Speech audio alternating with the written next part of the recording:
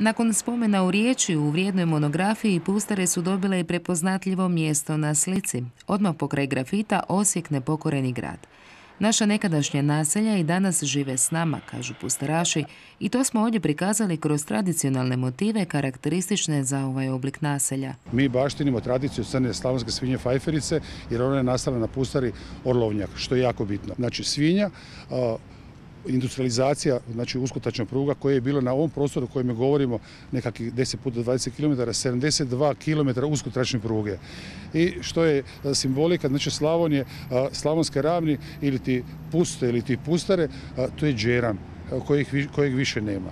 Ideju u dijelu proveli su učenici i profesori škole primjenjene umjetnosti i dizajna u Osijeku. Dva razreda su slikari četvrtih razreda.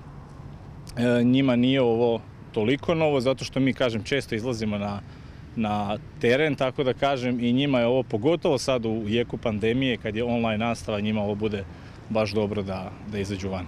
A i da nauče nešto novo o kulturno-industrijskoj baštini svog zavičaja. Da ih na neki način zainteresiramo šta je to pustara i tako dalje, jer mislimo da su pustare kao tema, posebno pustare kao gospodarstvo, a, a, nepravedno zapostavljene.